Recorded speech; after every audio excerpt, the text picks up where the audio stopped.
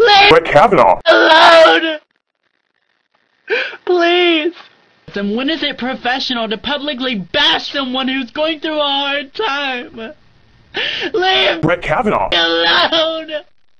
Please!